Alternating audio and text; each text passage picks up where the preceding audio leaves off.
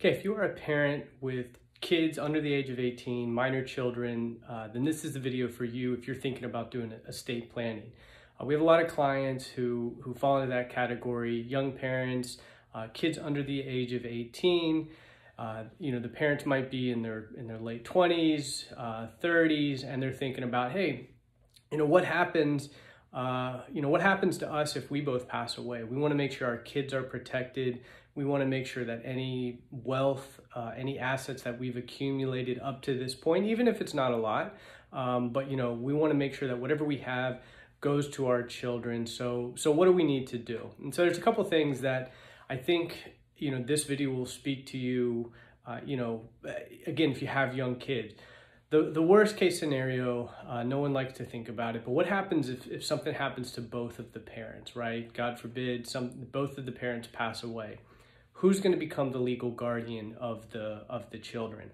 A lot of times, uh, unfortunately, when that's not written down, when that's not when those wishes are not expressed in a will or in a trust or some other legal document, uh, the court's going to decide, and the court depending on the jurisdiction, the, the state, the city, the county, uh, the judge, depending on a lot of other factors, um, that might be the next of kin, which might not be the person that you want to be the legal guardian. Or there might be a battle between in laws over which set of parents uh, or which set of siblings is going to be the legal guardian. So that's one of the, the main thing. That's just kind of like the starting point where we, where frankly, a lot of parents are concerned, and frankly, a lot of parents uh, don't know who they would put. But that's one of the main issues that we see with estate planning uh, for, for parents with, with, with minor children.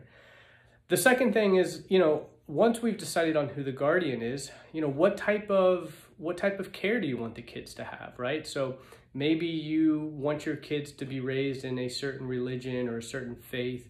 Maybe you want them to attend a certain type of school.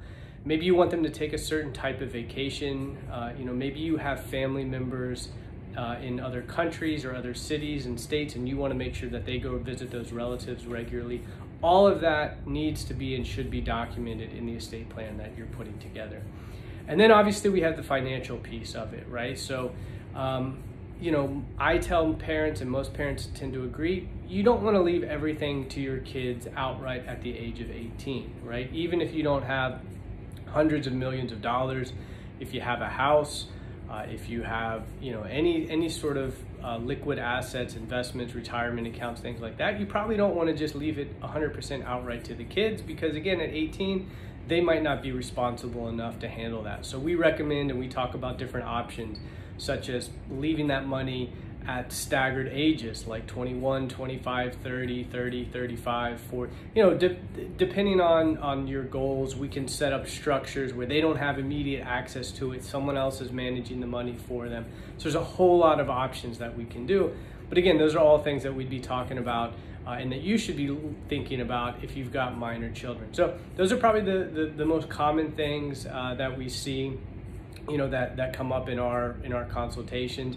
Uh, if you've got minor children certainly something you want to start thinking about. Don't don't think hey i don't have enough money it doesn't make sense. If you've got minor children if that's all you have and you know you don't you rent you don't keep much money in your bank account you still need to have something written down just for the fact of hey something happens to me who would take care of my children? So uh, parents with minor children hope you find that useful. Uh, please reach out if you have any questions